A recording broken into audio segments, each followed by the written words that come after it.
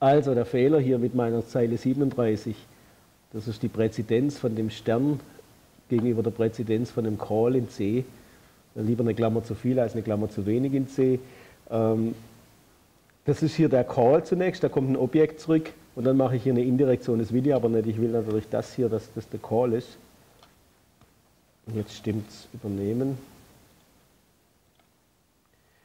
Und jetzt ist der weg, zweite Zeile 92, wahrscheinlich was ähnliches, vermute ich mal. Ja gut, gut, das ist eh noch der alte Code, den habe ich noch gar nicht umgestellt, da, da schauen wir. Naja, doch, da können wir jetzt gleich weitermachen. Also hier geht es gerade, gerade sofort. Hier haben wir zwei, drei ähm, lokale Variablen. Also hier define arglist als cont-file args3 3 und define t cont-file args4 und define arg-count cont-file Wobei Bild in Syntax braucht er, ruft er überhaupt eval auf? Nee, da brauche ich gar nichts machen. Das kann ich mir sparen, sorry. Kann ich mir hier sparen, weil der ruft gar kein Scheme eval mehr auf.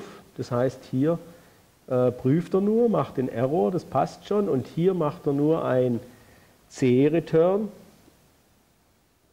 von dem Value Return Value from Build in Syntax und der Return Value from Built-in Syntax ist gleich genau das. Na. Und hier kommt ein C-Return von diesem Return Value.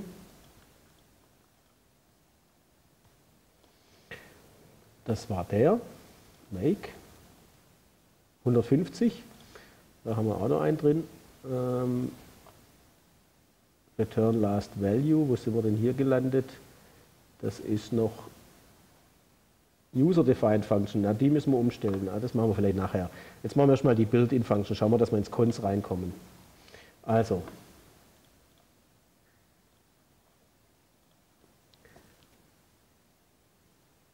Äh, ich weiß gar nicht, wo ich meinen Breakpoint hatte. Cons 1, 2. Okay, hier ist der erste. Wo wollen wir denn hinsteppen? Na, steppen wir mal da durch. Also hier geht es weiter. New Continuation. Alt, da wollte ich gar nicht hinsteppen. Da wollte ich nicht durchsteppen. Hier geht es weiter.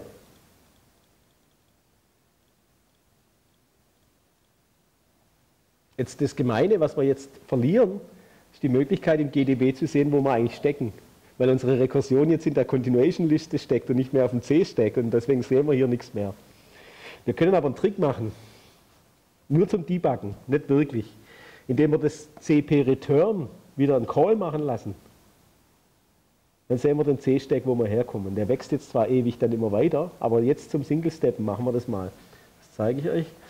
Da gehen wir in das Header-File rein, äh, nehmen unseren ähm, Tail-Call, überall wo jetzt Return steht, an der Stelle, da sagen wir Return Trampolin von dem. Ähm, das möchte ich eigentlich gern auch definierbar machen. Dann würde ich hier oben folgendes machen. Da sage ich define Trump von Continuation als Return Continuation und zwar if def debug Rekursion, dann definieren wir es anders, define Trump von Cont als return Trampolin von Cont. Else define Trump als das hier, Kreuz end if. Ah, ja. Debug und das definieren wir jetzt mal. Und dann überall, wo wir jetzt dieses Return haben, ja, den wollen wir vielleicht. Hm, wollen wir den lassen? Mhm. Zumindest die Calls wollen wir, wollen wir mal überlegen. Also Trump von Cont und hier unten den Tail Call, den auch Und hier den Jump lassen wir mal so. Und den machen wir debugbar. Ja. Und hier unten genauso. CP Return lassen wir, Jump lassen wir, Tail Call machen wir. Ähm, Trump von Cont. Und hier unten auch Trump von Cont. Und hier nochmal Trump von NewCont. Und wenn ich jetzt mal übersetze und nochmal hier jetzt, oh, oh, oh, oh, halt, viele Fehler. Tramplin, naja gut, das war wahrscheinlich Trampolin. Nochmal, bauen. Viele Warnings. Ähm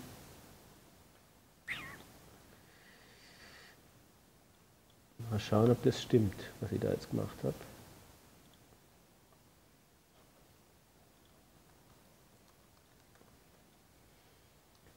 So, steppen wir jetzt nochmal wieder. Und jetzt machen wir nämlich einen rekursiven Aufruf. Jetzt sehen wir hier, was tatsächlich abgeht. Ähm, call, Tail Call, Call. Ähm, erscheint mir ein bisschen viel zu sein, aber wundert mich jetzt. Hallo? Bad Access, halt, da habe ich doch noch einen Fehler drin. Ähm, Bad Access stoppt.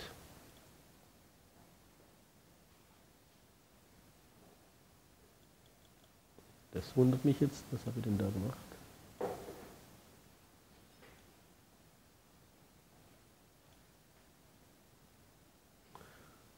Trump.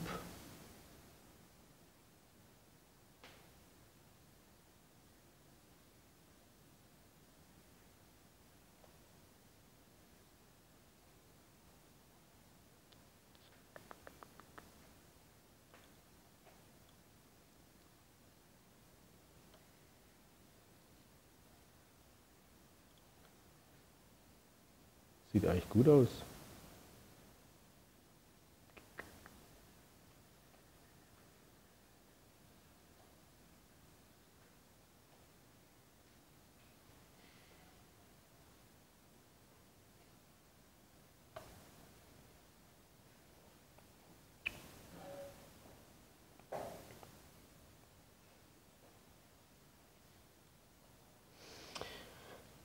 Hmm.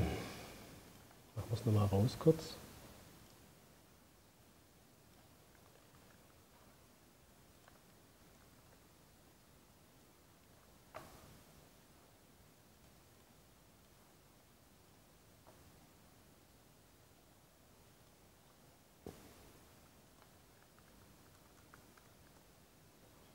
Soweit scheint es noch zu funktionieren.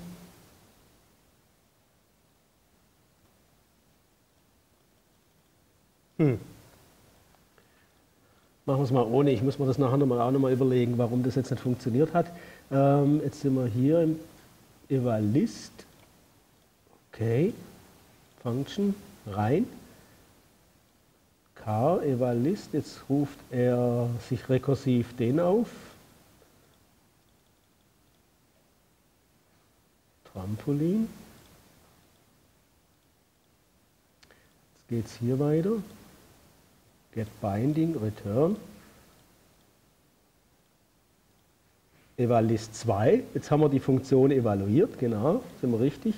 Jetzt geht der Tail Call. Der Tail Call geht natürlich wieder ins Trampolin rein. Dumm, dumm, dumm, dumm, dumm. Zack, hier rein. Arglist ist Cutter. Kommt der CP Jump.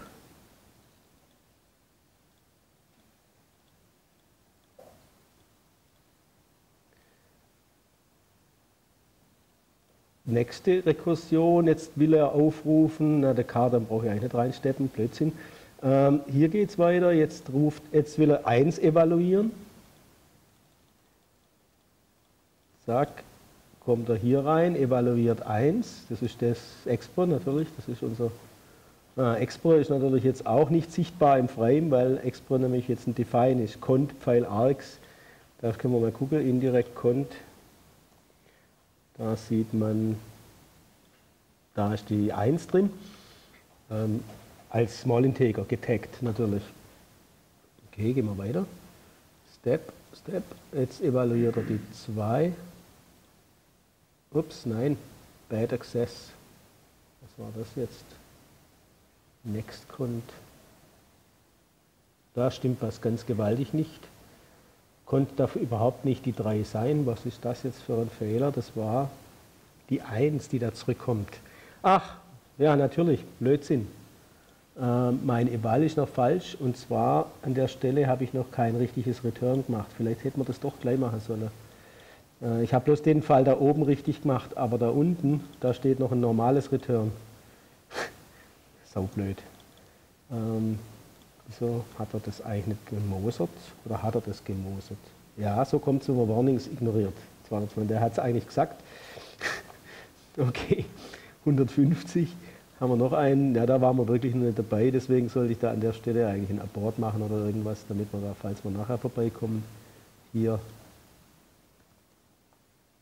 nicht wieder so falsch, nicht wieder so blöd reinlaufen wie gerade eben. Okay, nochmal von vorne.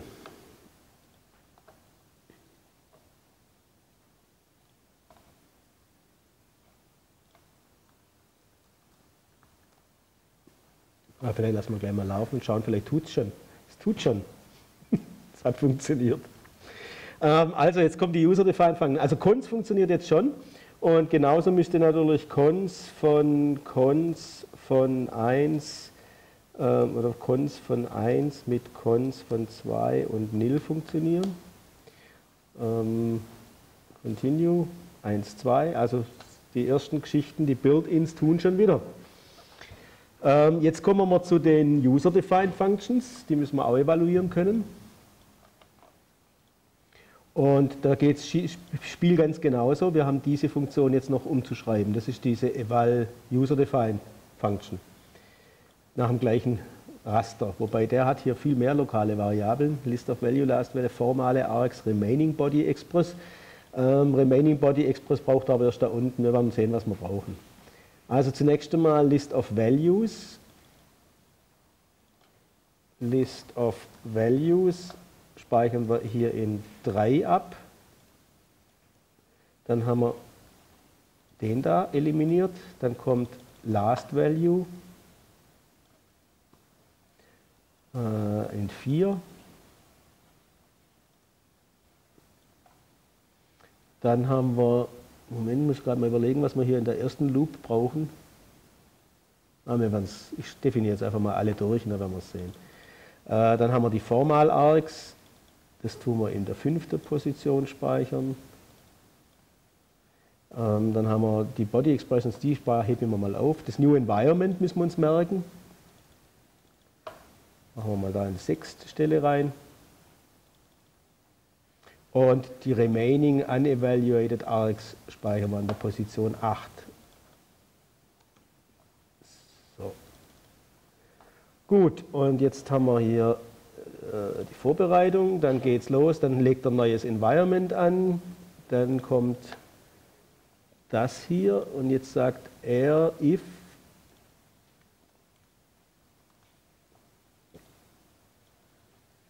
kein Argument mehr kommt, wenn ich am Ende bin. Jetzt muss ich den Code von unten hochziehen, das ist das, was danach kommt, das hier.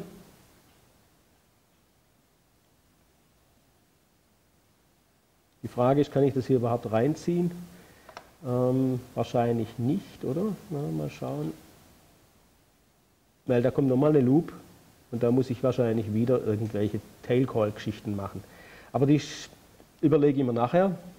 Jetzt kommt der normale Fall, also das Keen-Ding ist ungleich nil. Und jetzt muss ich eigentlich hier rüberspringen in, naja, eigentlich hätte ich hier die Continuation schon gebraucht. Schon, ja, da brauche ich schon die erste Continuation. Also das heißt, hier an der Stelle muss ich schon am Anfang von der While-Loop hier aufbrechen, weil da will ich nachher weitermachen. Also das wird mein Continuation Function 2, es wird der Anfang von der While Loop ähm, und ich ziehe das jetzt doch wieder raus. Hm, so. Gut, also hier wird es aufgebrochen. Jetzt kommt hier ein C-Jump nach Scheme Eval User Defined Function 2. Dann komme ich hier an, am Anfang von der While Loop. Jetzt sage ich hier if ungleich Scheme nil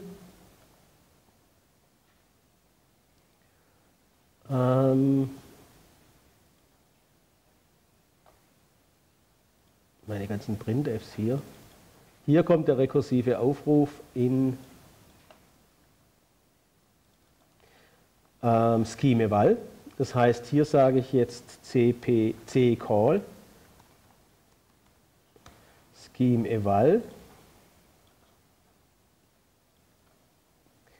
das unevaluated arc environment und weiter geht's, wenn ich da rauskomme in scheme user defined function 3.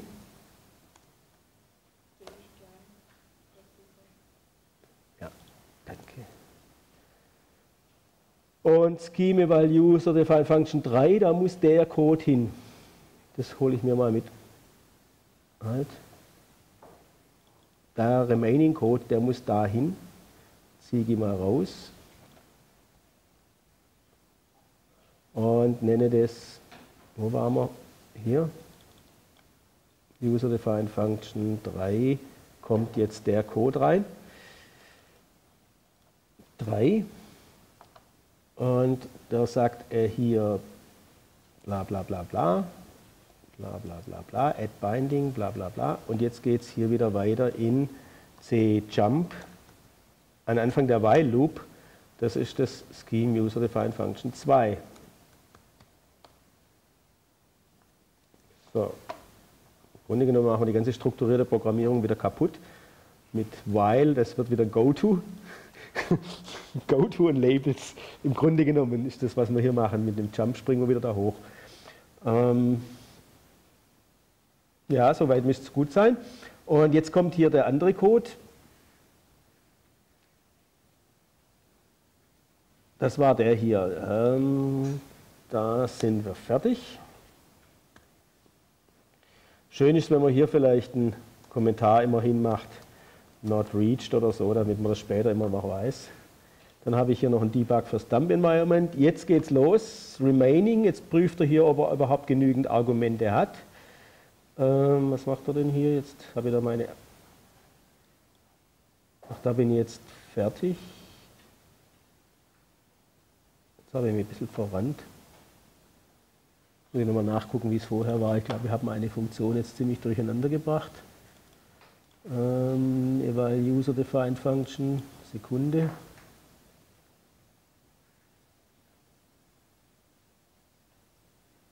Ach, da habe ich meine Einrückung kaputt gemacht. Nee.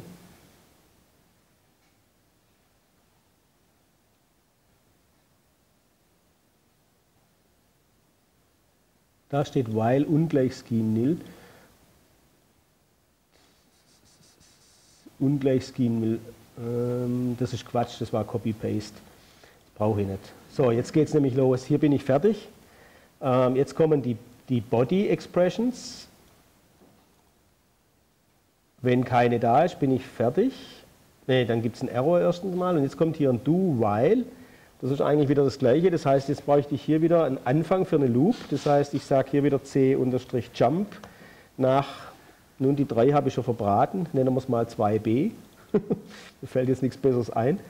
Ähm, 2b. Und da muss ich hier hinspringen, cp-jump zu der, 2b und die Funktion ist hier zu Ende. Und jetzt kommt der Code in das 2b rein, beziehungsweise ich schiebe das 2b hier einfach hoch. Ähm, so rein. Dann lande ich hier, jetzt bin ich, das ist der Anfang von meiner Do-Loop.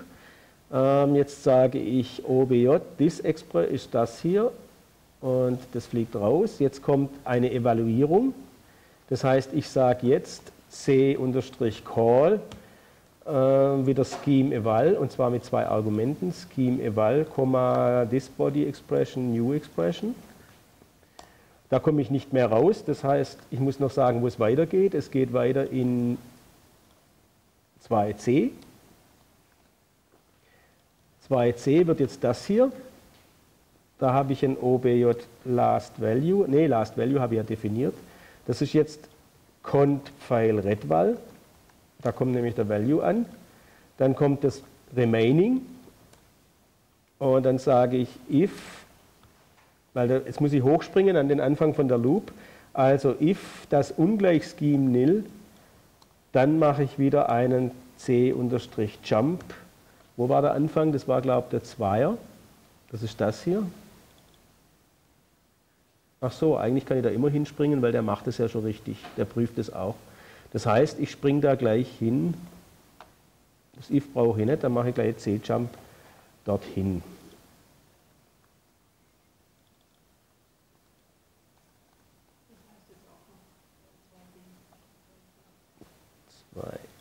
C. Okay. Und dann haben wir noch den Return Last Value übrig. Der kommt, wann ist er, wenn er fertig ist. Das heißt hier, halt, nee, da habe ich jetzt was falsch gemacht. Das ist der falsche, ich muss hier reinspringen. Ich muss hier, naja, das war falsch, Moment, Ctrl Z, rückwärts, rückwärts, das war alles falsch. Ähm, Body Express. Also, wenn noch eine weitere Body Expression kommt, dann muss ich hochspringen nach 2b.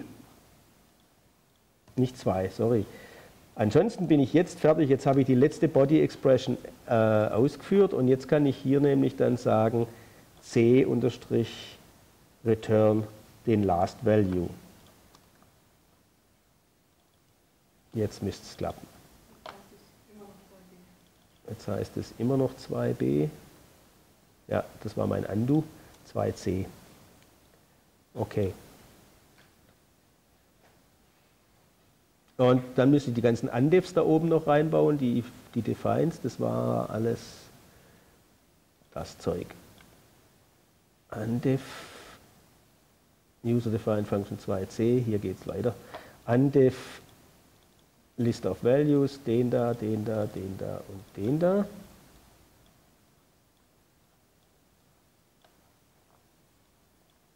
Gut. Bin ich aber gespannt. War na klar. Ähm, okay, erstmal die ganzen Forward-Definitionen brauche ich natürlich wieder. Ähm, das heißt, es geht hier los. Ich brauche eine Forward-Definition für das Zweier, für das 2b und c und für das Dreier.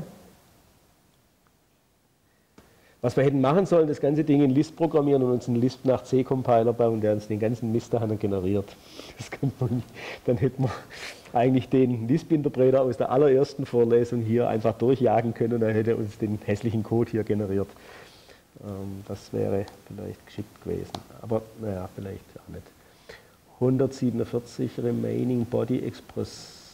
Was habe ich da vergessen? Remaining Body Express habe ich doch Ach so, das habe ich nicht definiert, genau.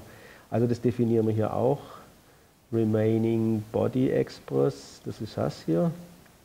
Wobei tatsächlich könnte man hier Slots wiederverwenden.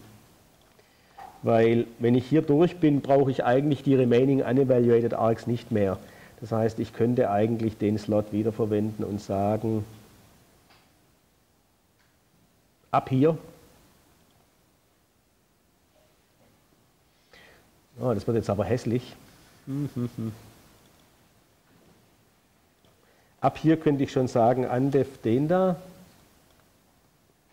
und define remaining body expressions als Slot 7. Und hier unten, und dann verwende ich den Slot für die Geschichten. Da geht er hier durch, call, geht dann weiter, setzt das Ding und hier sagen wir an the remaining body express. Soweit, so gut. Ich glaube, das war richtig. Ja, übernehmen. 169 habe ich noch irgendwas mit Klammern falsch. Das ist wahrscheinlich hier eine zu viel.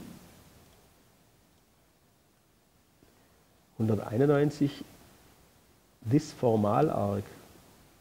Moment. Ich glaube, das ist eine lokale, die, die kann ich hier lokal definieren. Nein, oder doch? Ja, genau, das kann ich machen, genau. Make formal args undefined. Warum das? Undeformal args. Oh, da hätten wir noch eine gebraucht.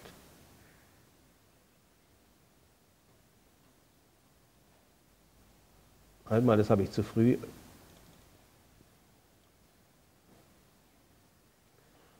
Das muss hier rein.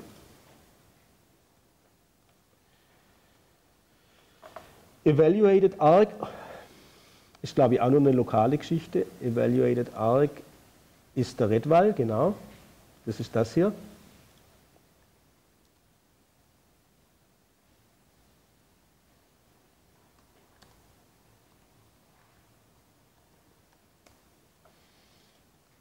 Was ist das? Gibt es das vorher?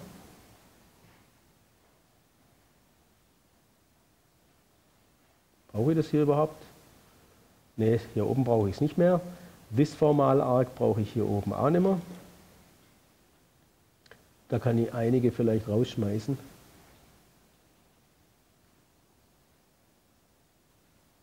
Okay, Make, schon besser. Ähm, 185 Remaining Unevaluated Arcs Undefined.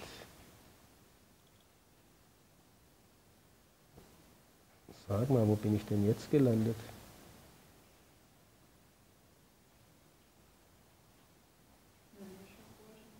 Ach, die Dreier gehört dann auf. Mm, dumm. Die Dreier gehört nach oben. Die Dreier ist tatsächlich die obere Loop über die Argumente und das 2b, also eigentlich sollte ich vielleicht gescheite Namen nehmen. Das mache ich mal, ähm, weil hier oben bin ich bei den, die Zweier ist der Start der Loop über die Argumente. Der Dreier ist, wenn er ein Argument gekriegt hat. Das heißt, da springt er dann, hier springt er zum nächsten Argument. Wenn er ein Argument evaluiert hat, kommt er hierher. Dann springt er wieder hoch nach 2. Das ist soweit in Ordnung. Und wenn er das letzte evaluiert hat und er mit der Bodyliste anfängt, dann geht er hier über 2b, das nenne ich jetzt mal 4, damit es einfach eine Reihenfolge kriegt. Das ist die Vierer. Äh, dann evaluiert er eine Body Expression, dann macht er weiter beim Fünfer. Wenn er den Fünfer hat, da hat er ein Body Expression evaluiert, dann guckt er, gibt es noch weitere. Wenn ja, geht er wieder hoch zum Vierer, macht dort weiter in der Loop. Wenn nein, liefert er der letzte Value zurück. So, und jetzt muss ich meine Forward-Definition, erst dann darf ich den Undef machen, eigentlich hier drin. Naja, ich weiß nicht, ob das da innen drin sein muss, spielt eigentlich keine Rolle. Lassen wir es hier drin. Ups. Gesundheit. So, das war hier. Und dann muss ich noch die Forward-Definitionen richtig machen, die sind ganz hier oben. 2, 3, 4 und 5. Und jetzt bin ich aber gespannt. Ja, fast. 1, 6, 7 Remaining Unevaluated Arcs, das habe ich glaube irgendwo schon undefiniert. Da, das darf ich erst machen. Oh Mist. Ah, das ist blöd.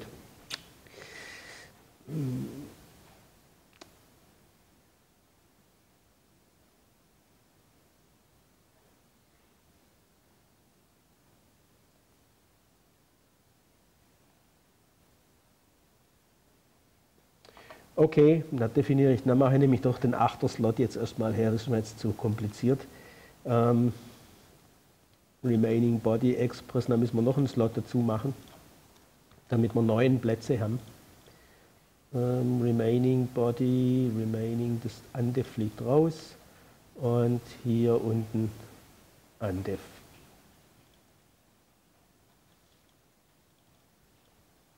So, Moment, das mache ich gleich mit dem Header, dass da, dass da noch ein Slot da ist, bevor ich es vergesse.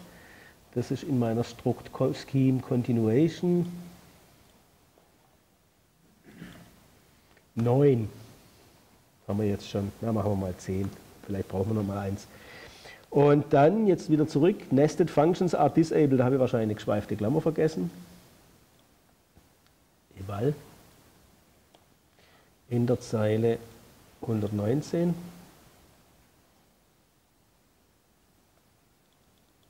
Ja, das gehört, auch da, gehört sowieso ganz weg.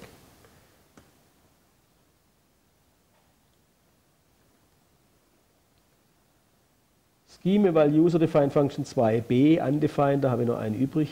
Wie hieß denn der jetzt? Ähm, 2b war 4. C-Call habe ich noch einen drin. In User Defined Function 2. Das muss natürlich heißen C-Call 2. Okay. Und jetzt sagt er was noch? C-Call habe ich noch einen drin. Reference from noch ein. Was, was, was?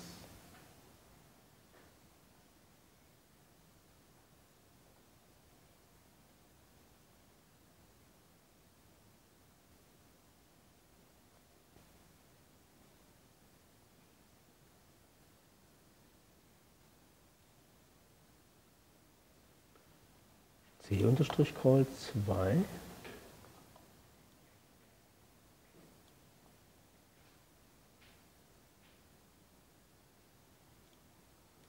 Wuf hat er jetzt. Ach so, es war es schon richtig. Ich habe da falsch geguckt. Das war ja, war ja in Ordnung. Okay, jetzt starten wir es nochmal bauen.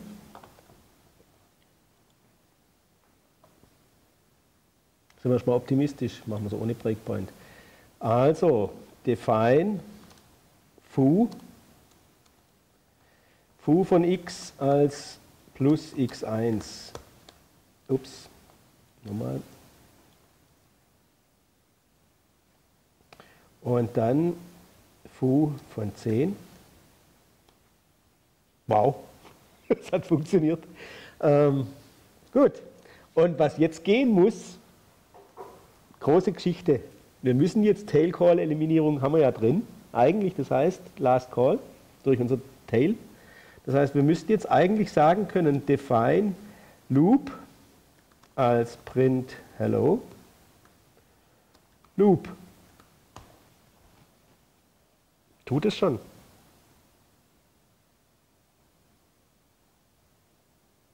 Frage. Nein, es tut noch nicht. Und zwar, ich habe nämlich einen Fehler noch gemacht. Ähm, und zwar wenn ich, wenn ich hier, also wenn ich jetzt sage define loop und habe hier äh, eine, Function Call 1 und dann nochmal einen Function Call 2 drin, schauen wir nochmal den Code an, den ich hier gemacht habe. Äh, hier oben gehe ich durch alle, hier oben fang, geht es los mit dem eval user defined function. Das ist ganz, ganz, ganz in Ordnung soweit. Da macht er ein neues Environment und sagt dann, okay, ich gehe jetzt in die Loop rein. Das ist, die fängt hier mit 2 an. Vielleicht hätte man das auch user defined function Loop nennen können oder sowas. Da sagt er, okay, er holt sich eins raus und evaluiert das Argument. Das heißt, da macht er das da, also der Call jetzt, wenn ich jetzt. Wir haben hier aber kein Argument. Insofern springt er dann gleich hier drüber. Das heißt, er geht hier unten hin, Remaining Body Express setzt er auf das erste Body und ruft dann, springt hier an den zweiten Loop Start, das ist der Vierer, ruft eval rekursiv auf für das Ding, kommt dann, wenn er fertig ist, kommt er bei eval user defined function 5 wieder raus, das ist hier unten. Da setzt der Body Express, ist Cutter von Body Express, das heißt, er holt sich die nächste und geht dann wieder, wenn es noch weitere gibt, geht er dann wieder hoch zu 4. Und jetzt ruft er wieder Scheme Eval auf, aber er macht hier wieder einen Call und erst wenn er ganz fertig ist, macht er einen Return. Das heißt, der letzte müsste eigentlich ein Tail Call sein, damit auch unsere Tail Call Eliminierung hier funktioniert. Das haben wir nicht gemacht. Das heißt, wir müssen hier eins, eins vorher schon gucken. Und beim vorletzten oder beim letzten, die letzte Body Expression, die vorkommt, die dürfen wir nicht mit Call aufrufen, sondern da müssen wir gleich einen Tail Call machen. Dann funktioniert es. Also, das heißt, wir sagen hier, ähm, wo sind wir? Also, wenn es noch eine gibt, dann wollen wir hier nach Scheme Eval User Defined Function 4 aufrufen. Aber wir müssen gucken, wenn es dahinter, wenn das die letzte ist, also if remaining body express, nein, if coulda von remaining body express gleich Scheme nil. Also das heißt, machen wir einen Kommentar hin. Um, this is the very last body export. Dann machen wir hier einen C-Tail Call von Scheme Eval mit zwei Argumenten von dem Ding.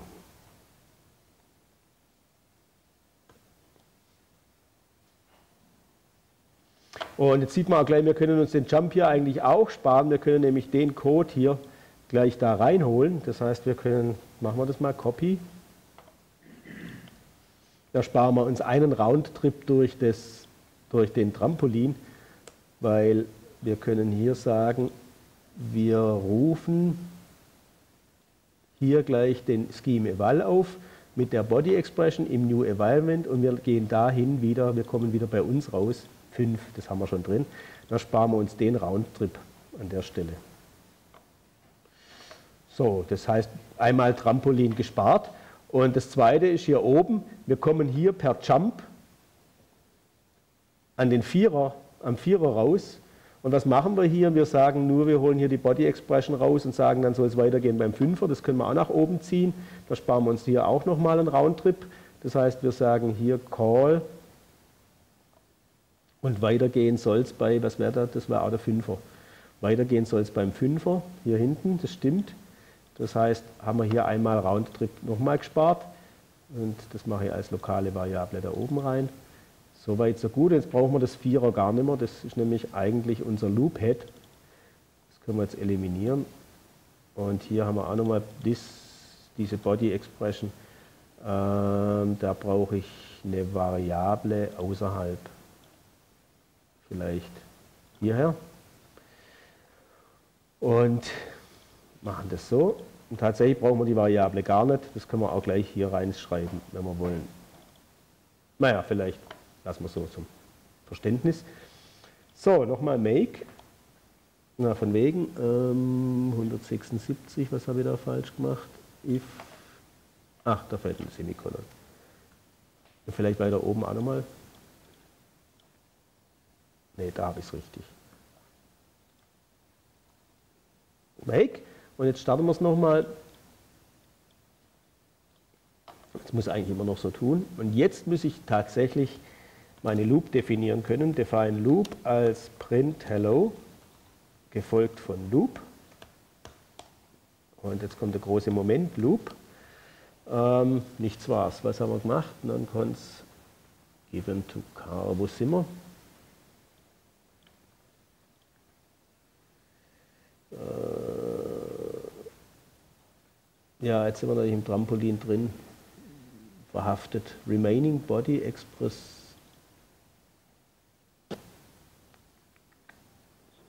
Grundpfeil Arc 8. Ah, jetzt muss ich hier in Continuation, jetzt muss ich da reingucken.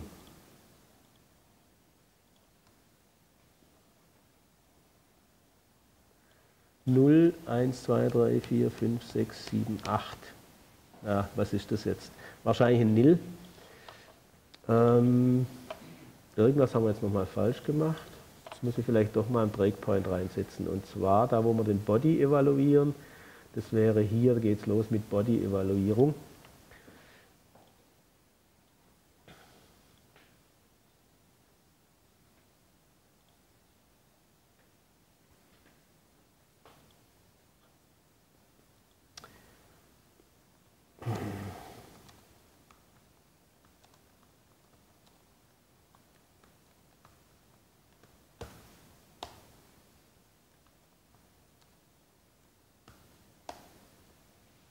ups, wir kommen da gar nicht vorbei.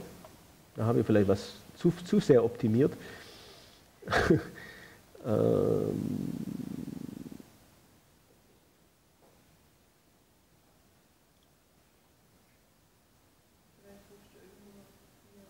halt mal, halt mal, das ist an der Stelle falsch. Wo bin ich denn hier?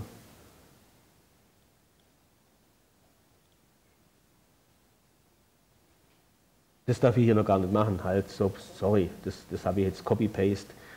Da definiere ich die Variable, aber hier unten ähm,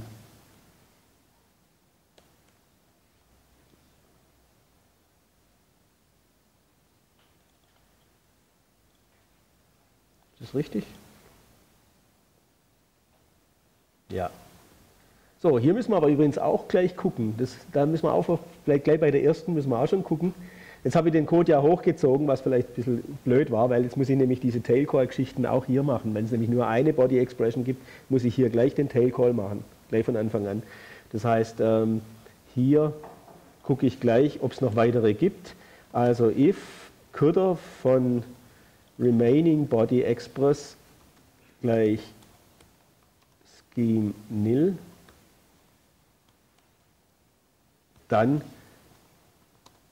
haben wir nur eine, dann machen wir da gleich einen Tail Call hin.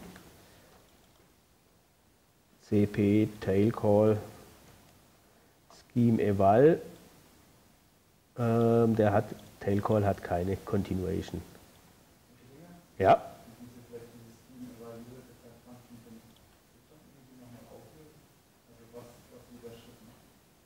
Ähm, Nochmal von vorne. Sollen wir nochmal die rekursive Version zunächst angucken? Ähm, ja, mache ich nochmal Wiederholung. Also nochmal ganz, da muss ich nochmal ganz zurückgehen. Wir haben ja das Environment, unser Current Environment äh, in env. Da steht irgendwas drin, A, B, C. Und jetzt habe ich eine User-Defined Function definiert, äh, zum Beispiel x als ähm, na, x mit einem Argument, das nennen wir wieder a, freundlicherweise, und vielleicht machen wir da noch ein d rein, und der soll zurückliefern plus a und d. So, das ist die Definition. Äh, Sie erinnern sich, das Lambda, das entspricht ja dem Lambda, also das ist ja äquivalent zu ähm, define x als Lambda von a und b A und Dora, sorry, ähm, plus A Dora. Und das Lambda macht ja noch nichts, das tut nur das Current Environment plus die Argumentliste plus die Bodyliste in einer User-Defined Function ablegen. Also wir haben hier das, das Environment, was da gültig war, das spielt jetzt keine Rolle, weil der keine freien Variablen hier zugreift, sondern nur solche, die hier vorkommen. Ähm, also haben wir hier ein Arglist. Arglist Arcs, da steht das A und das D drin.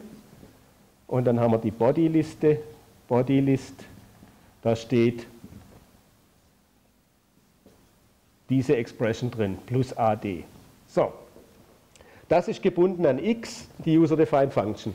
Und jetzt rufe ich das x auf, x mit 10 und 20, was, oder machen wir was komplizierteres, ich rufe x auf mit plus a5 und der zweiten, äh, zweites Argument 20. Jetzt muss ich zunächst mal, als allererstes, das macht mein Eval-List, es evaluiert das erste Ding da vorne, das x, was ein Symbol ist und guckt, was da dran steht.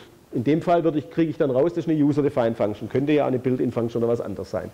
Und dann komme ich in das eval User-Defined Function. Eval User-Defined Function sagt, ich muss ein neues Environment anlegen. New Environment. New Env. Und in diesem neuen Environment muss ich alle formalen Argumente von hier, also A und D, binden an die evaluierten Argumente hier. Das heißt, ich rufe mich hier rekursiv für jedes Argument auf.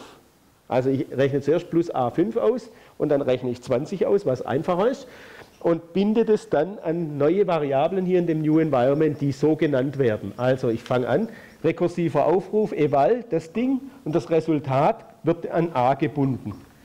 Ähm, was immer das a hier oben war, angenommen das a wäre hier 99 gewesen, dann habe ich nachher hier 104 drin. Dann kommt das zweite Argument, 20 wird evaluiert, das evaluiert zu sich selber und das wird an d gebunden. Also kriege ich hier ein d, das auf 20 zeigt.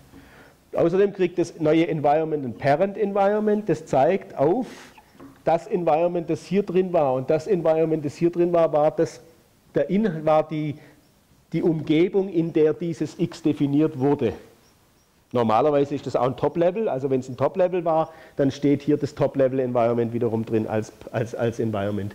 Wenn nicht, dann steht da das Environment drin, in dem das, das x definiert wurde. Das könnte ja auch innerhalb eines Lambdas wiederum definiert worden sein, also sub, äh, als, als quasi Inner Function.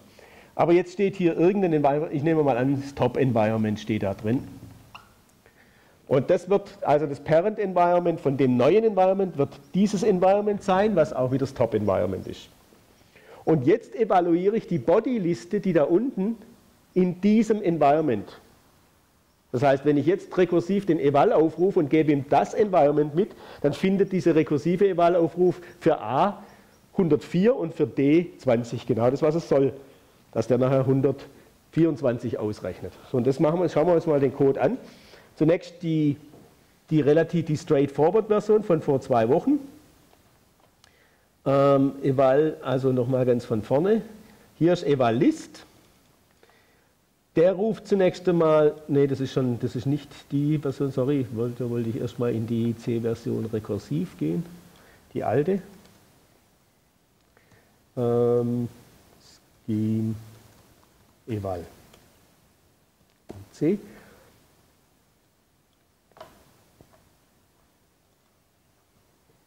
Hier. Der sagt erstmal, ich evaluiere den ersten Slot, wie gesagt, also das X, und guckt dann, was, es, was er rauskriegt. In dem Fall kriegt er eine User-Defined Function raus. Da macht er den Switch. Dann gehen wir zurück zur User-Defined Function. Dann legt er das neue Environment an. Hier mit 10 Slots erstmal. Das ist die Anzahl vorbelegter Slots oder reservierter Slots. Und setzt das Parent Environment aus der Function. Also aus der User-Defined Function. Das war damit unsere Closures funktionieren. Und jetzt geht es los. Jetzt sagt er, wie, jetzt muss ich alle, alle Argumente evaluieren in dem neuen Environment. Das heißt, er ruft rekursiv, äh, er holt sich hier das Unevaluated Arc, also in dem Fall das hier, raus. Das ist K von der Liste, ruft Scheme eval rekursiv auf in dem alten Environment noch, weil das hier darf ja das neue A noch nicht sehen, sondern das hier muss ja das A sehen vom Aufrufer. Deswegen muss dieser, dieser Eval hier noch im alten Environment passieren. Dann habe ich ein evaluiertes Argument. Dann baue ich ein neues Binding in meinem neuen Environment, damit das A jetzt gebunden ist.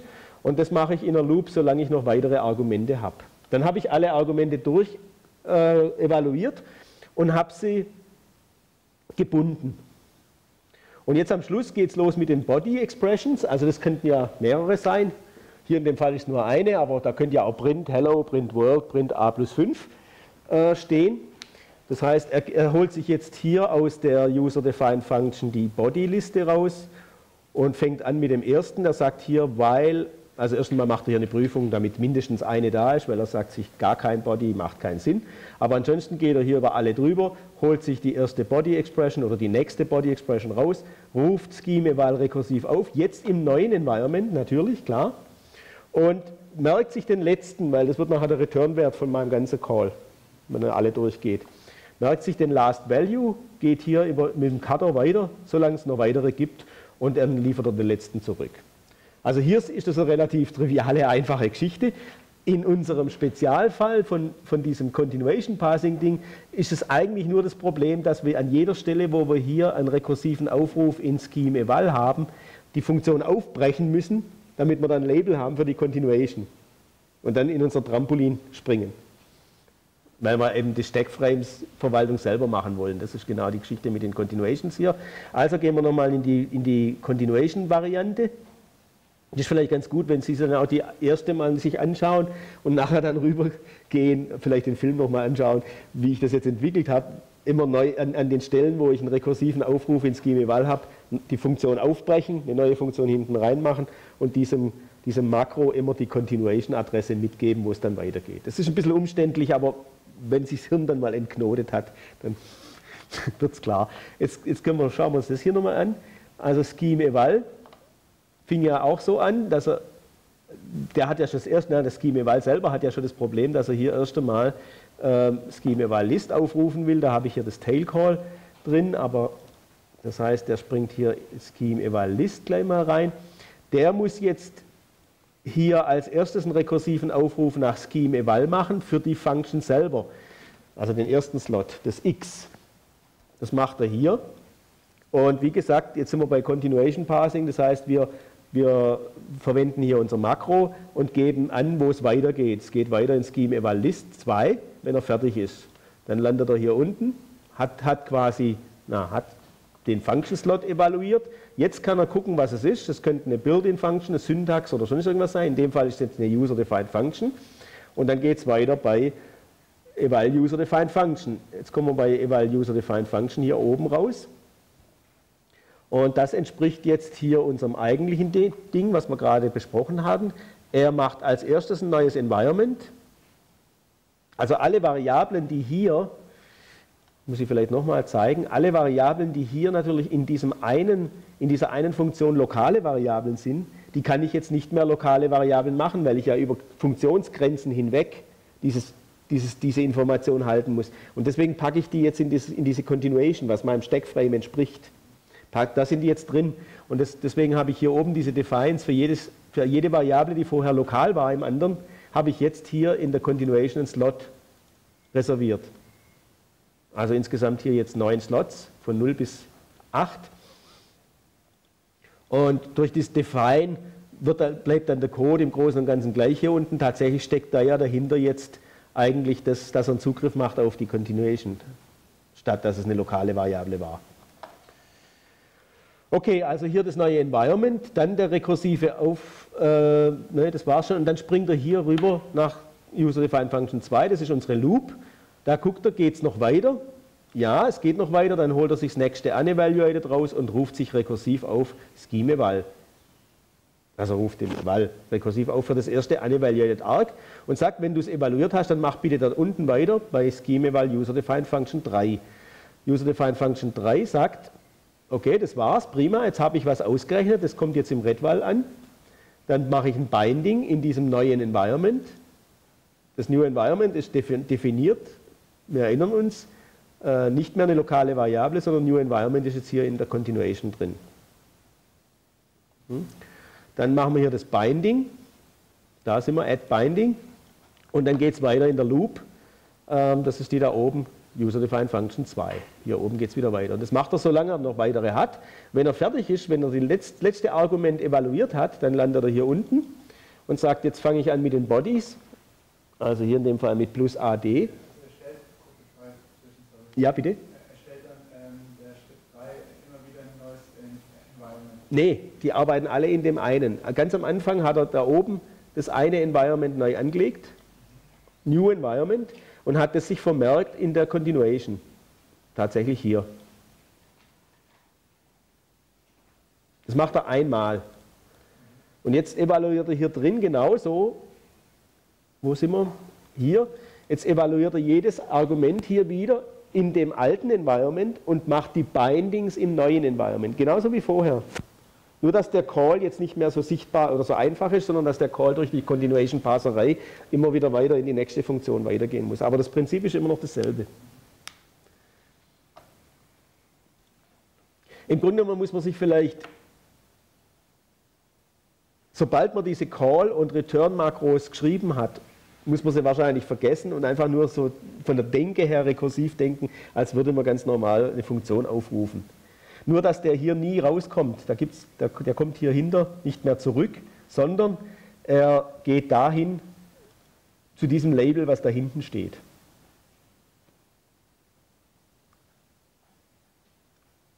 Soll ich es nochmal versuchen, andere, mit anderen Worten? Oder wird es langsam klar? Noch nicht? Ähm,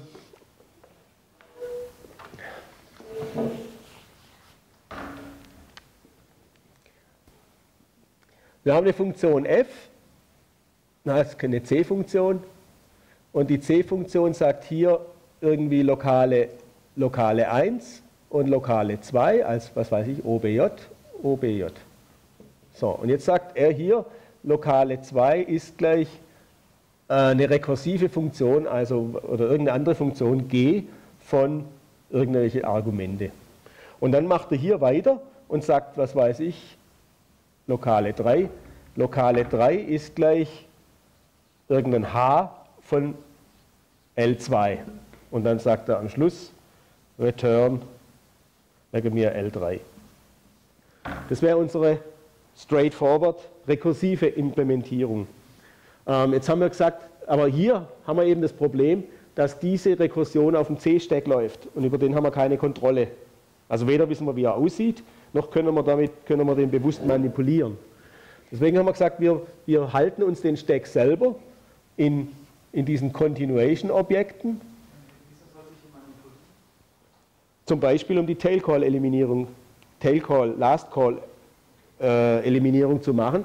Ähm, hier ist es so, dass ich in C gar nicht die Möglichkeit habe zu sagen, das, ist, das H ist der Last Call. Und in unserem Fall eben diese Loop-Geschichte, also wenn ich sage, äh, define REPL, ist ein schönes Beispiel für einen Loop, als irgendwas, irgendwas, irgendwas und am Schluss wieder REPL, dann soll dieser Last Call keinen Stack kosten.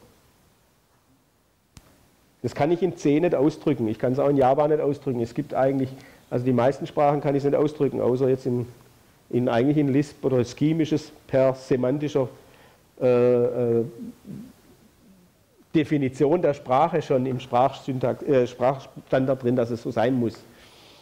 Und ähm,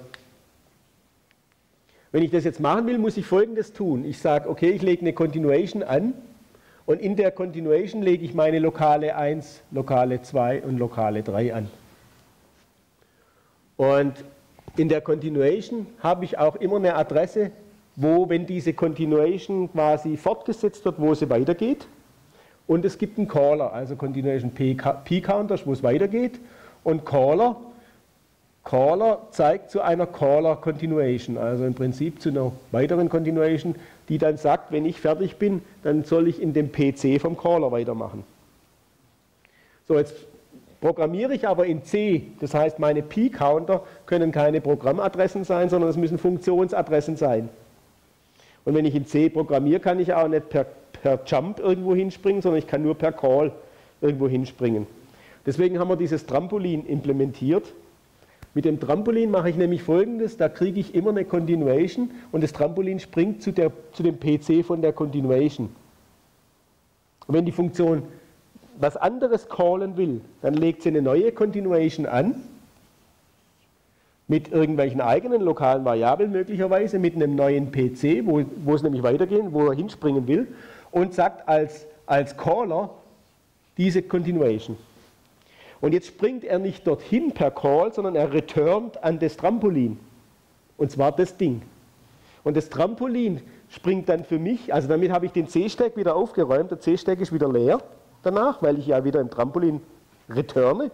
Aber das Trampolin springt als nächstes äh, über dieses Ding zu der, zu der Funktionsadresse. Also würde ich hier quasi sagen, ich mache jetzt, ich sage jetzt hier cont File p counter ist gleich. Wenn ich hier an der Stelle in das G springen will, sage ich, da tue ich die Adresse von dem G rein, äh, new cont, also ich muss ein neues Frame anlegen, dann new cont File pc ist gleich die G-Adresse. Und in meinem Continuation, das heißt, wenn das G dann mal wieder zurückkommt, da muss ich sagen, wo es hier weitergeht. Da hätte ich jetzt gern die Adresse von dem Ding hier. Ja, ich gebe dem, äh, wenn ich hier den Call mache, dann übergebe ich dem Trampolin dieses Ding, das neue. Da, wo hier das G drin steht.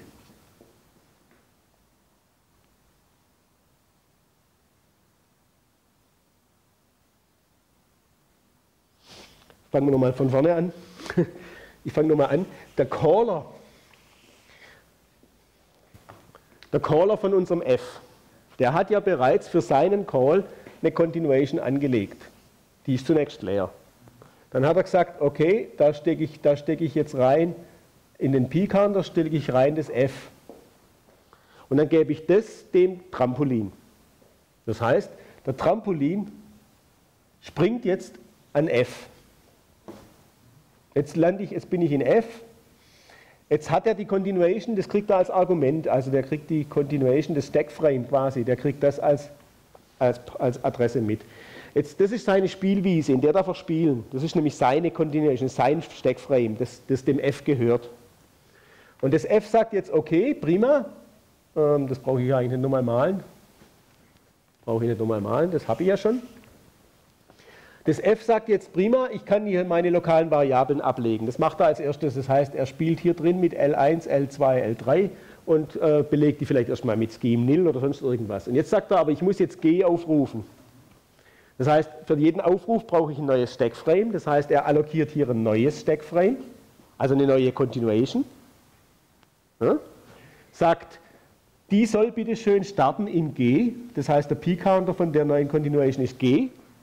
Und außerdem, wenn das Ding jemals fertig ist und returnt, dann hat er als Caller meine Continuation. Okay? Und dann geht er zurück. Allerdings muss ich in meiner Continuation jetzt nicht, wenn die wieder fortgesetzt wird, muss ich nicht wieder in F starten, sondern ich muss hier, hier weitermachen, wo ich nach dem Call rauskommen soll. Das heißt, eigentlich will ich hier die Adresse, ich nenne sie mal f-2. Das heißt, er setzt sein, in seiner eigenen Continuation setzt er den P-Counter-Adresse auf f-2.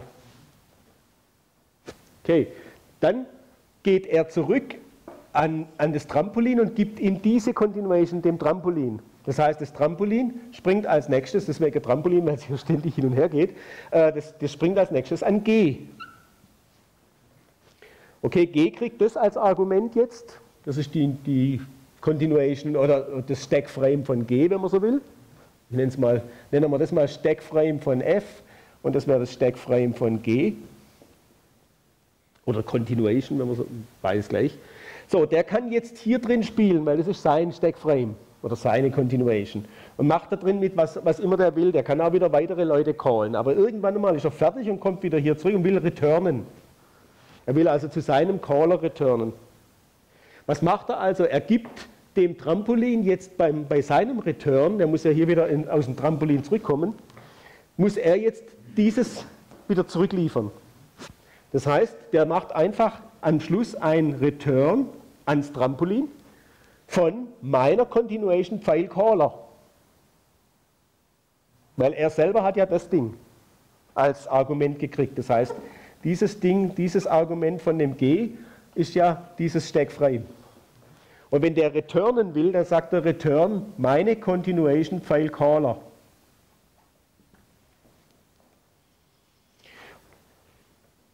Wenn er jemand anders aufrufen will, hier an der Stelle hat er gesagt return new continuation. Ne, das war das F hier an der Stelle. Als der F das G aufrufen wollte, ist er ja auch in die, ins Trampolin returned. Er hat nicht called, er hat returned. Aber er hat ihm gesagt, du sollst bitte da weitermachen, in der New Continuation. Hier sagt er Caller.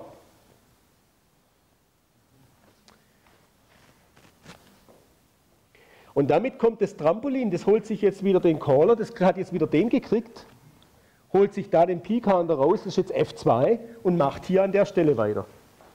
Springt da wieder hin.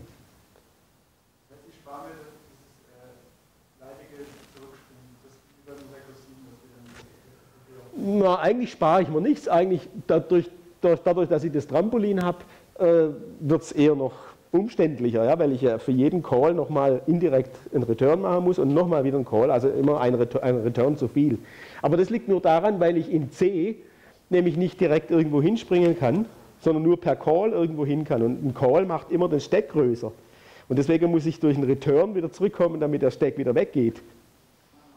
Das ist mein Hauptproblem und das hat man auch in Java. Wenn man es jetzt in Java implementieren wollte, hätten wir das gleiche Problem. Also in, in allen Programmiersprachen, die eben im Prinzip keine Tail-Call-Eliminierung machen.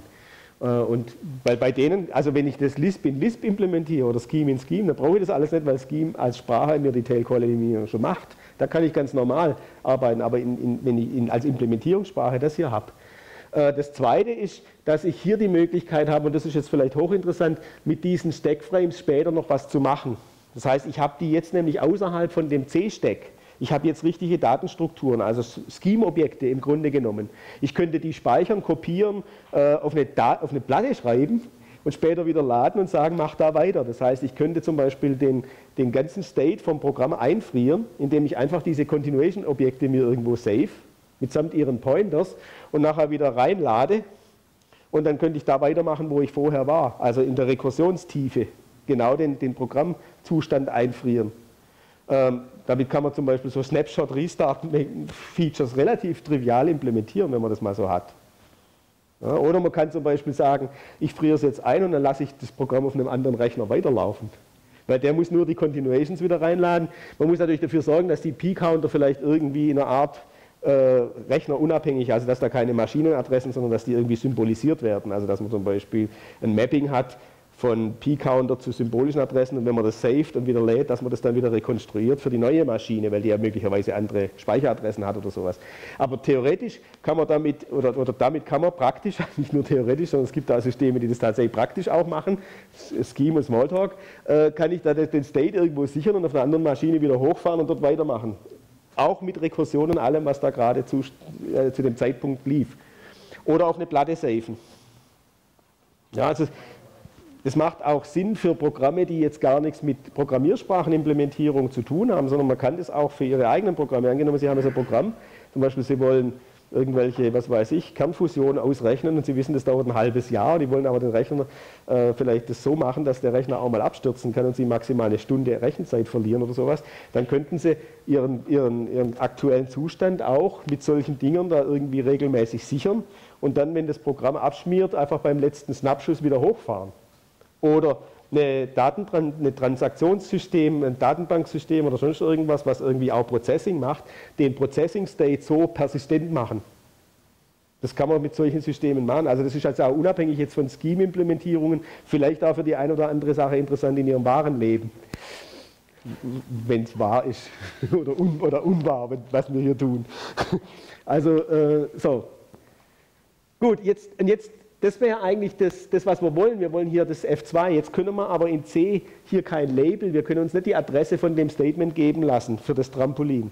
Und deswegen müssen wir jetzt an der Stelle hier in C leider die Funktion schließen und eine neue Funktion F2 hier definieren.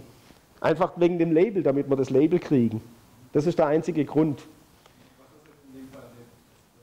Ja, der Label ist das F2, das ist das, was wir da reinschreiben müssen, damit der Trampolin nachher weiß, wo es weitergeht, wenn G fertig ist.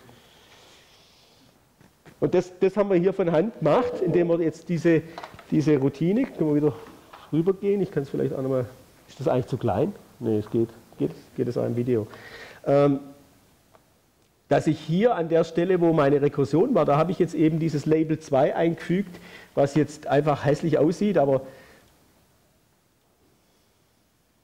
ich könnte auch dafür ein Makro definieren. Eigentlich wäre das noch viel geschickter. Äh, ich könnte definieren ein Makro, das heißt Label, Scheme Eval User Defined Function 2 und das definiert mir einfach Static Cont und dann den Labelname, da sieht es aus wie ein Assembler-Code mit Label und GoTo. Äh, weil im Grunde genommen ist das hier ein Jump. Ja, ich sehe gerade, der Jump, der ist jetzt auch, ja gut, eigentlich überflüssig. Ja, doch, nicht, nicht ganz. Aber ja, lassen wir es mal so. Also, ähm, soweit klar. Naja, klar ist nicht wirklich. Man muss jetzt zwei, dreimal durchkauen, weil es ist wirklich etwas äh, klarer geworden. Ähm, wo war ich jetzt stehen geblieben? In meiner Loop und die Loop hat irgendeinen Schrott gemacht. Und ich glaube, es war, was war denn das da? Halt mal, was habe ich gemacht? Ähm, is body expression.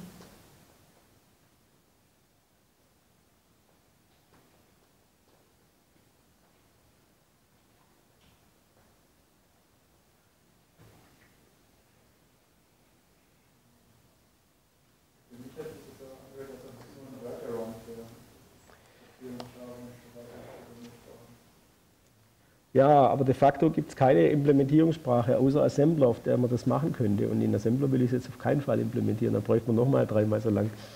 Das, äh, das ist, also wenn, Sie, wenn man dann guckt, wie so Scheme-Implementierungen oder Smalltalk-Implementierungen äh, funktionieren, die, die machen das meistens so. Also ein Chicken Scheme oder äh, auch die Smalltalk, die, die verwenden solch, so ein Konstrukt. Äh, es wird nachher einfacher, wenn wir mit einem Jitter Assemblercode, äh, Maschinencode erzeugen, dann können wir da den, das Trampolin eliminieren. Das heißt, wir brauchen, wir brauchen da nach wie vor, wir brauchen nach wie vor solche, solche Konstrukte, äh, die außerhalb von dem Maschinensteck sind, beziehungsweise es gibt noch Tricks, da kommen wir noch dahin, dass man sie zunächst einmal im Maschinensteck anlegt und nur bei Bedarf rausschiebt. Sprich, wenn einer sich eine Referenz drauf geben lässt, da kommt äh, dann sowas wie Write-Barriere und Read-Barriere ins Spiel, wenn einer sich eine Referenz auf ein Stackframe geben lässt, dann sorge ich dafür, dass es dann sicher ist und eventuell aus dem Stack rauswandert in den Heap. So wird man das normal implementieren. Das heißt, man legt die Dinger zunächst auf dem Stack an und nur im Sonderfall schiebt man sie dann rüber. Aber wir fangen jetzt an mit dem allgemeinen Fall, das heißt, wir legen sie immer außerhalb zunächst einmal erst an. Weil das wird dann immer komplizierter natürlich dann und wenn man das, Grund, das muss man Schritt für Schritt dann nachvollziehen können. Ähm, das ist jetzt natürlich höchst ineffizient, wenn wir jedes Mal mit malloc da so ein Ding allokieren äh, und, und für, für jeden Call. Wir werden aber jetzt in der, in der nächsten Stufe gleich den malloc eliminieren für die meisten, ähm, weil wir können die auch wieder verwenden. Also beim Return kann ich das aktuelle Stackframe einfach wieder auf eine Freeliste tun, wenn nicht in der Zwischenzeit sich einer eine, eine Referenz drauf hat geben lassen. Und wenn sich einer eine Referenz drauf hat geben lassen, dann kann das eigentlich nur ein Call machen, den noch gar, den, der noch gar nicht existiert. Da gibt es im Scheme, heißt der Call mit Current Continuation, Call CC. Der holt mir die Current Continuation und gibt sie, gibt sie mir. Und in Smalltalk heißt es this Kontext, da kann man sich das aktuelle Stackframe holen. Und erst an der Stelle, das, da sorgt man dafür, dass, dass das Ding sicher wird. Und wenn das nie passiert, dann kann ich die Dinger wieder recyceln. Das heißt, ich würde normalerweise diese Continuations äh, en bloc eine ganze Menge allokieren, vielleicht auf eine verkettete Liste, vielleicht möglicherweise sogar doppelt verkettete Liste machen und dann wird Allocation von einem, von einem solchen Stackframe einfach nur äh, den nächsten holen und Deallocation wäre wieder den Pointer zurückzusetzen. Das heißt, äh, die Allocation von solchen Dingen wird quasi fast genauso schnell wie Stackframe Allocation. Beim Stackframe muss ich ja subtrahieren vom Stack Pointer und addieren zum Stack Pointer, um ein Frame zu kriegen. Hier müsste ich diese Liste weiterverfolgen, da habe ich eins allokiert und zurückverfolgen, da habe ich eins deallokiert. Das heißt mit zwei Memory Fetches oder einem Memory Fetch äh, habe ich allokiert, mit einem habe ich wieder deallokiert, indem ich einfach die Kette runtergehe, rauf und runter. Also insofern kann ich die dann quasi so schnell allokieren, fast wie, wie, wie regulären Stack. Und wenn ich jetzt feststelle, dass irgendwann einmal einer referenziert wurde, also ich habe einen Call CC, dann muss ich ihn einfach aus der Kette rausnehmen. Und damit wird er nicht wiederverwendet. Ja, das ist der Trick, dass es dann schnell geht. Ähm, aber jetzt allokiere ich sie noch jedes Mal und kümmere mich nur nicht drum. Äh, jetzt muss ich erst mal gucken, dass es überhaupt wieder funktioniert, weil wir haben gerade einen Zustand, der nicht tut. Äh, und wir haben bloß noch 20 Minuten. Ja, jetzt bin ich gerade im Moment nicht sicher, woran es liegt. Ich weiß gar nicht, wo mein Breakpoint war. Ähm, und dieses Define nervt mich jetzt eigentlich auch. Da muss ich doch die Skripte irgendwo definieren können.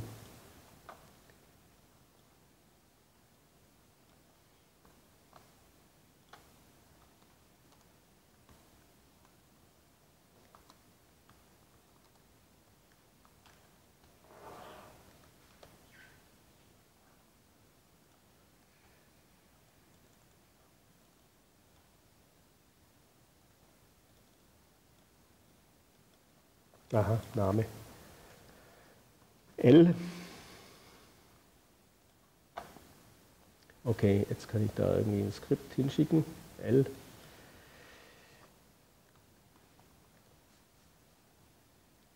Ähm, immerhin, es ist nicht mehr abgeschmiert, plus 1, 2. Ähm, das heißt, Ja, einmal hat er es ausgeführt, das heißt, äh, wir schauen jetzt mal, wo wir unsere Geschichte haben. Das, das fixen wir jetzt noch voll, die letzten 20 Minuten. Und jawohl.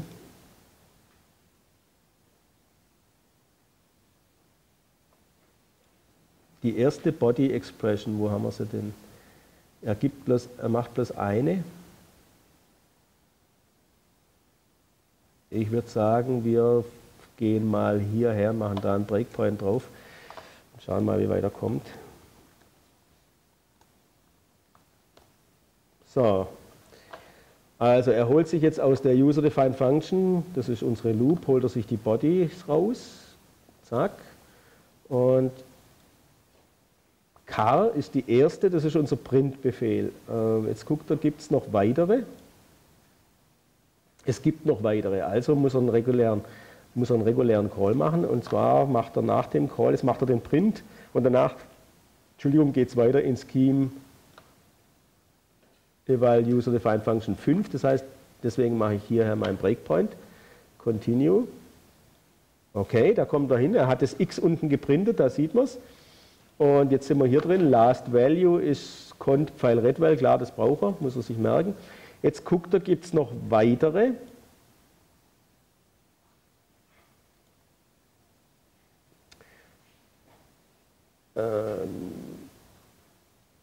Es gibt noch eine weitere.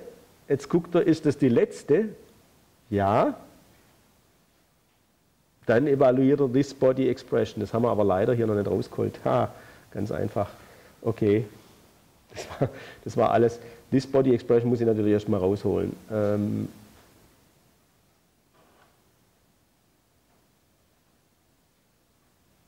das war's, hoffe ich. Nochmal.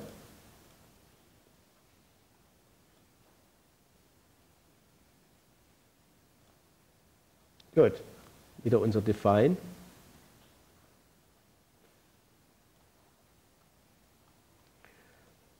Na. Okay, jetzt nochmal durchsteppen. Es müsste eigentlich richtig funktionieren. Jetzt kommt er hier raus. Continue. Jetzt sind wir da drin. Step, Step, Step. Jetzt sagt er, das ist die letzte. Ja, jetzt macht er den Tail Call. Und jetzt können wir nochmal da reinsteppen, um das nochmal zu zeigen, was der Tail Call nämlich genau macht, im Unterschied zum normalen Call.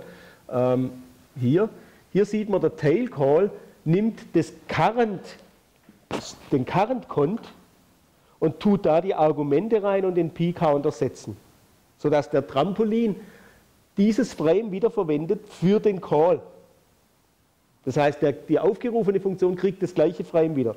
Im Gegensatz dazu tut der normale Call, das ist der da oben, nee, das ist der da unten, der normale Call legt erst ein, neues, neue Continuation an, legt die Argumente da rein in die neue Continuation, setzt in dem aktuellen, in der aktuellen Continuation die Continuation, die Continue-Adresse, das ist die, wo es weitergeht, die da hinten.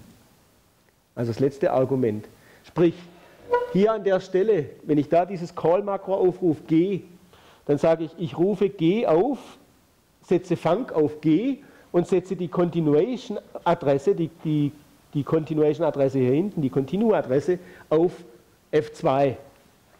Und damit setze ich in meinem aktuellen Frame den PC auf das F2 und in den neuen setze ich den PC auf die aufgerufene Funktion. Und dann gebe ich die neue ans Trampolin wieder zurück sodass das Trampolin in die neue geht.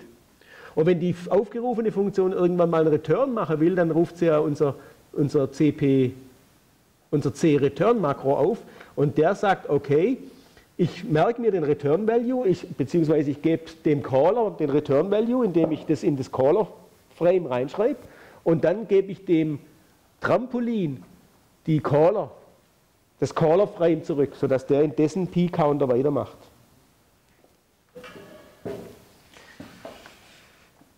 Wenn ich es hochgeladen habe, guckt sich jeder mal zwei, ein, zwei Tage, ein, zwei Stunden mal in aller Ruhe an, macht vielleicht nochmal so Bildchen, guckt den Video nochmal an, dann mit dem Bild, ich glaube, das ist hier ganz gut äh, und dann wird es ein bisschen klar. Okay, jetzt schauen wir mal, jetzt machen wir weiter. Tail Call, Continue. Ah, jetzt sind wir hier wieder gelandet und wieder, und man sieht hier auch unser Stack. Unser Stack hat bloß drei Entries groß, weil wir natürlich immer zwischen Trampolin und einer von diesen Funktionen hin und her spielen. Also maximal ist unser C-Stack zwei Frames groß. Trampolin plus eine aufgerufene Funktion. Wenn die nämlich was Rekursives macht, macht sie einen Return ins Trampolin und hat außerhalb vom C-Stack was allokiert, nämlich unsere Continuation Frames. Okay, next. Und jetzt kommt wieder ein Call. Ja, weil er wahrscheinlich wieder Print jetzt aufruft. Na,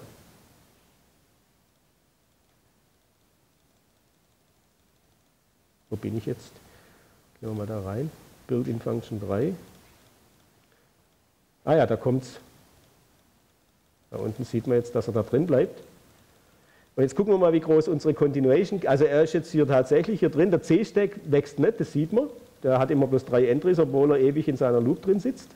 Äh, jetzt gucken wir mal die Continuation-Kette, die darf natürlich auch nicht wachsen. Das, das, ist ja, das ist ja wichtig, sonst haben wir nämlich nichts gewonnen durch diese ganzen Aktionen. Das heißt, wir schauen mal unsere Continuation an.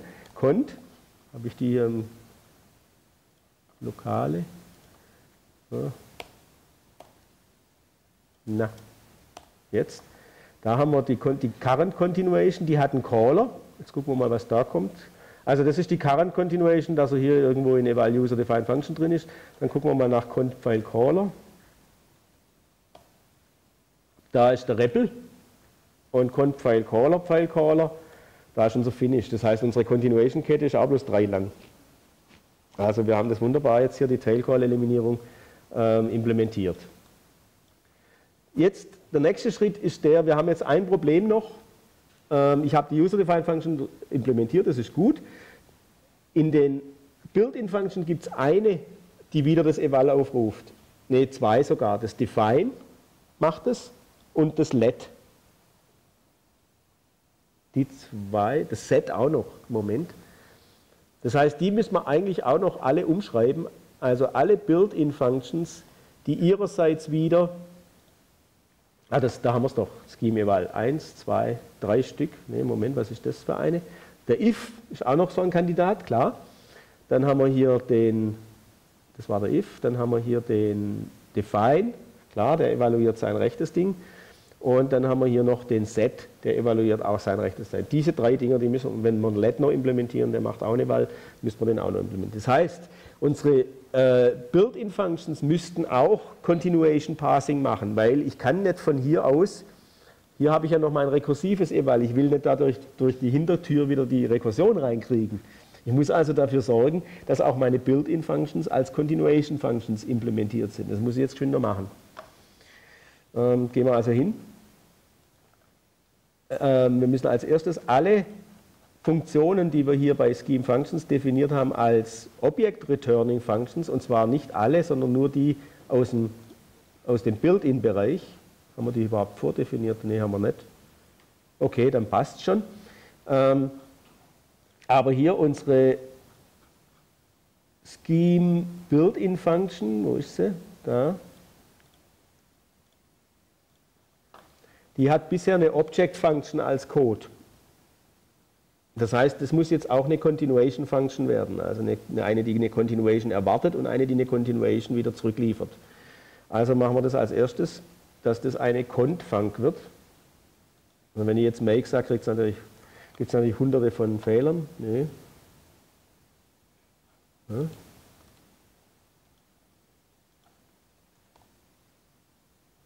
Assignment from incompatible, das ist ja interessant. Wieso hat er jetzt nicht viele Fehler gemeldet? weil es eigentlich gar nicht funktionieren kann. Jetzt gehen wir zum eval wieder zurück und da, wo wir die Built-in-Function aufrufen,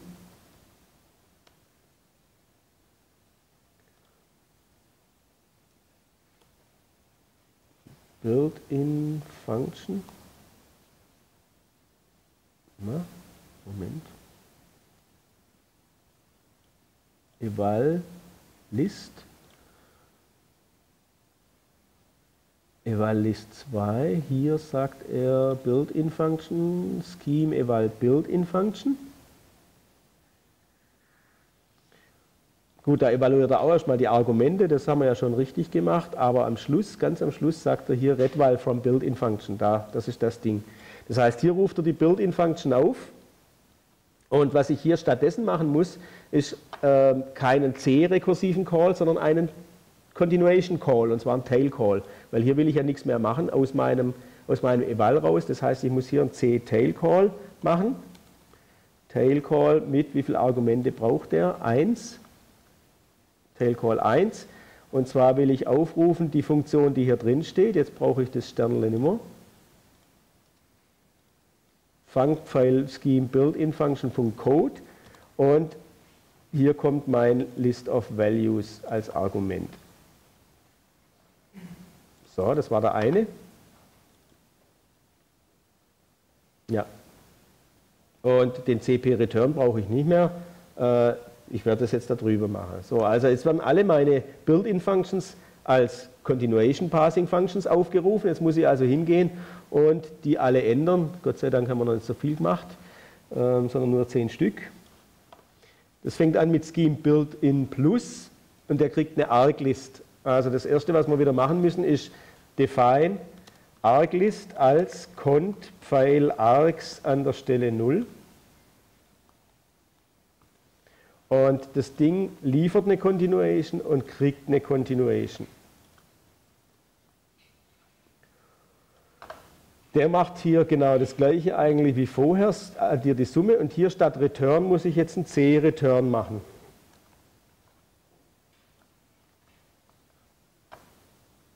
So weit, so gut, das war jetzt relativ einfach und es bleibt da so einfach. Das heißt, für die hier, das kopieren wir mal, Arglist. Hier haben wir die Arglist ähm, und hier haben wir Cont. Und hier haben wir auch eine Continuation Function jetzt. Und hier haben wir wieder ein C-Return. Dann kommt Minus. Hm.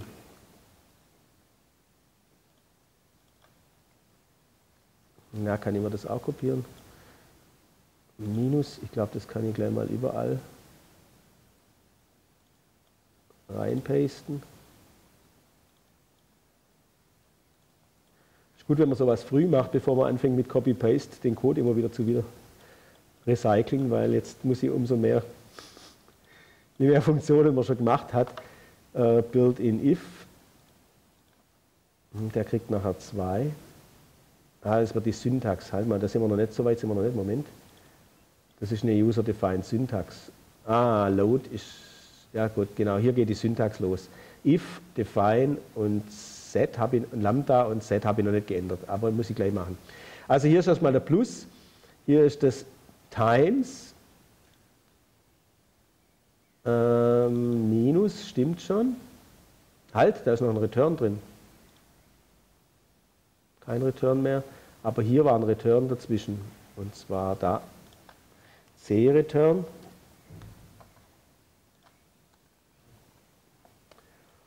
Und hier unten C-Return.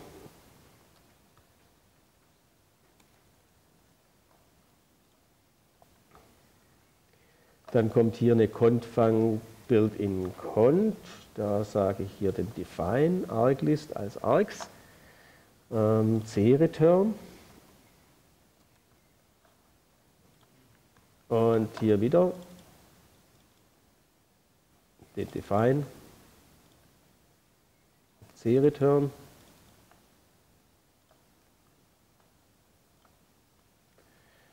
Bin mir gar nicht mal sicher, ob wir das überhaupt gebraucht hätten, weil die, unsere Built-in-Functions, die rufen alle keine Val auf.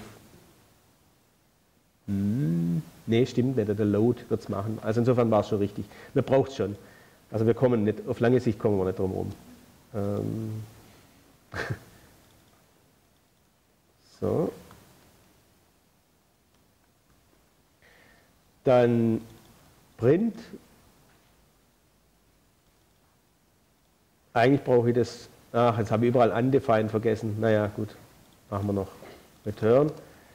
Dann das da, Scheme Void. Dann der Equal.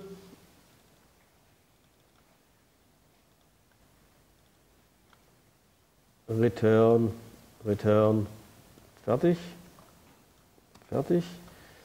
Und der Display noch. Dann sind wir, glaube ich, durch. Return, Return. Ah, nee, der Load, der wird interessant. Ah, toll, prima. Gut, dass wir da vorbeikommen, weil der ruft einen REPL wieder auf. Und REPL haben wir, glaube ich, schon als Continuation Passing Function umgeschrieben. Insofern passt das schon. Es wäre schön gewesen, man hätte die wirklich alle mit C irgendwie gepräfixt, dann wüsste man nämlich, welchen schon wie läuft. Ähm, also hier haben wir den, dann haben wir Define Arglist. So. Und dann ein C Return, Scheme Void.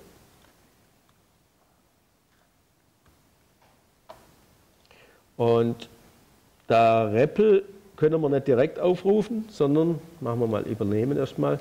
Unseren REPL, Sie erinnern sich, müssen wir auch als, wo ist der, der ist in Main drin? REPL ist eine Continuation Function. Das heißt, wir müssen, wenn wir in, aus dem Build-in kommen und den REPL aufrufen, müssen wir hier einfach sagen, ja, jetzt brauchen wir bloß eine Geschichte, wenn der REPL zurückkommt. Ich kann hier keinen Tailcall machen, weil ich muss hier noch einen Close, muss aufräumen. Also muss ich hier sagen, ich mache hier einen ähm, C-Call mit zwei Argumenten. Und zwar rufe ich auf das REPL mit the file. Oh, dumm, das muss ein anderes werden. Das haben wir schon ähm, an der anderen Stelle auch gehabt. Also ich muss hier mal ein File-Objekt kreieren. Und Argument 0, das muss jetzt auch ein äh, Scheme, was war das? Scheme False. Das haben wir nämlich geändert. Und wenn es weitergeht, wenn er fertig ist, dann muss er den Scheme Build-in Load 2 aufrufen. Das heißt, hier kommen wir nicht mehr raus. Wir sind jetzt hier in der neuen Funktion, landen hier in dem Load 2. Deswegen brauche ich den Define hier nicht und kann jetzt wieder sagen, wo ist mein File? Ja, der File muss ich irgendwo mitgeben, damit er das zumachen kann. Das heißt, eigentlich save ich das mal kurz und gehe nochmal ganz kurz zurück in Main, weil da habe ich den Code, der das REPL aufruft, schon gefixt, dass der hier ein Input-File draus macht. Wo war es? Hier. Da nimmt er nämlich ein File und macht daraus ein Scheme-File. Also gehen wir zurück zum Build-In. Und hier machen wir das jetzt genau. Hier sagen wir OBJ Input, äh, OBJ Input. Und eigentlich wollen wir ja keine OBJs haben, sondern das muss auch jetzt in der Continuation drin liegen. Das heißt, wir brauchen hier ein Define Input als das muss in der Continuation im Frame drin liegen, damit wir es hinten wieder sehen. Das nützt uns nichts, wenn das hier eine lokale Variable ist. Also sagen wir hier, der File ist open, dann macht er es auf, dann wrappt er das da in dieses Scheme-Objekt und tut da den Input der File rein, der File. Und nachdem das jetzt im Frame ist, kann ich da unten drauf zugreifen, habe ich es also hier wieder an der Hand und kann es wieder rausholen, kann hier sagen, File Stern the File ist gleich Input File bla bla bla Input File und dann können wir es hier wieder schließen und den Remote returnen. Soweit so gut, dann brauchen wir noch eine Forward-Deklaration kurz. Das heißt, wir müssen hier, damit das überhaupt kompiliert, müssen wir hier sagen, es gibt eine Funktion cp load, die eine Continuation erwartet und die kommt später, damit er sie hier an der Stelle überhaupt kennt. So, ich glaube, jetzt haben wir alle Built-in-Functions definiert. Schauen wir mal, ob es kompiliert. Make. Ja, von wegen. Ähm, ach so, nee, doch, doch, das ist richtig. Weil das Define Function hier unten ist noch so definiert, dass wir setzen ja am Anfang diese ganzen Built-in-Function-Objekte auf. Und da steht noch, dass es Object-Functions sind, die er erwartet. Wie hier ist jetzt eine Continuation-Function, die er erwarten muss. Und dann ruft er New Scheme Build-in Function auf. Das muss ich auch umdefinieren. New Scheme Build-in Function ist in Memory. New Scheme Build-in Function, das zieht sich halt jetzt schon ganz schön durch, was wir hier machen. Das ist jetzt eine Cont-Function, die er erwartet. Oh je, Built-in Function or Syntax, der will nämlich jetzt noch eine Object-Function. Da müsste ich eigentlich im Moment vielleicht mal den Code einfach duplizieren, so lange.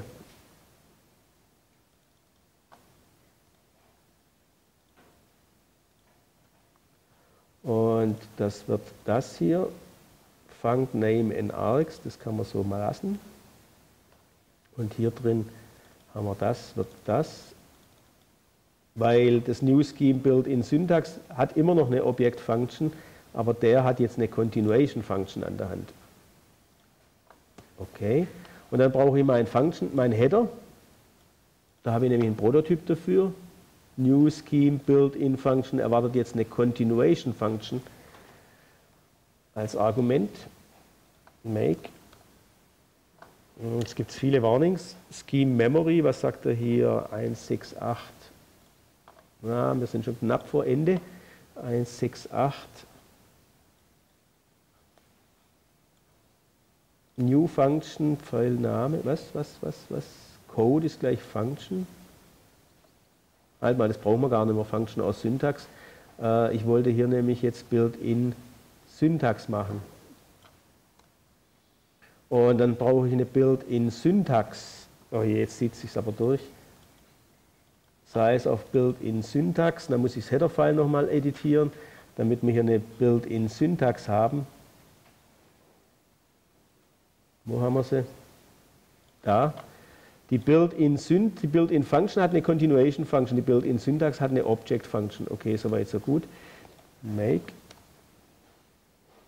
Ähm, Scheme Memory nochmal. Wir sind gleich fertig. Ich wollte es noch kurz. Oder soll ich es das nächste Mal voll fertig machen? Oder soll ich es zu Hause voll fertig machen? Ähm, wo waren wir? 163. OBJ Funk 2. Conflicting Types. Scheme Functions nochmal.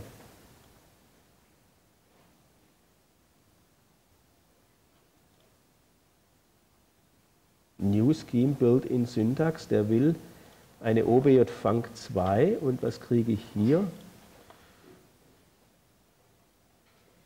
Ach, das Wort fliegt natürlich raus, Quatsch, hat er recht. 6, 7.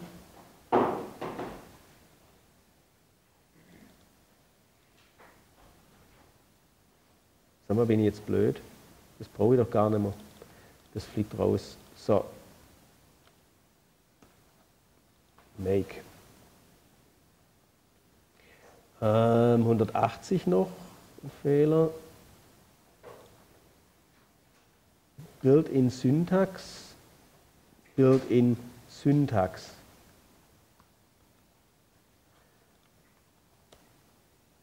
Okay, Memory ist jetzt gut. Dann kommt Build-in REPL undeclared. Ähm, Warum ist REPL undeclared? Das war doch vorher auch nicht undeclared.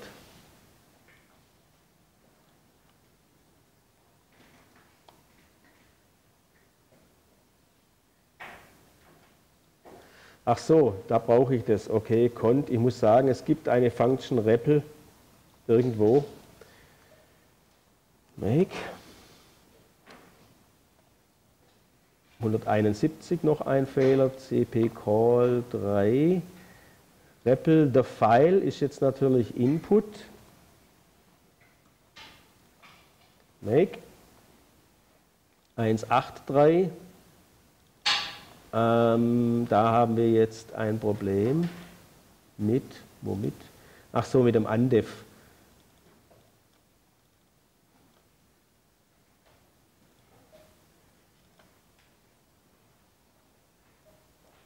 So, ich würde sagen, wir machen jetzt Schluss und ich bringe das zu Hause voll zum Kompilieren. Viel fehlt nicht mehr. Ich mache das über die Woche, über das Wochenende zu Hause, weil jetzt ist für alle Zuhörer 10 nach 9 und die Jungs wollen in ihren verdienten, ihr verdientes Wochenende. Äh, und ich eigentlich auch. Also wir machen nächste Woche weiter dann. Tschüss. Danke. Das war jetzt heavy, oder?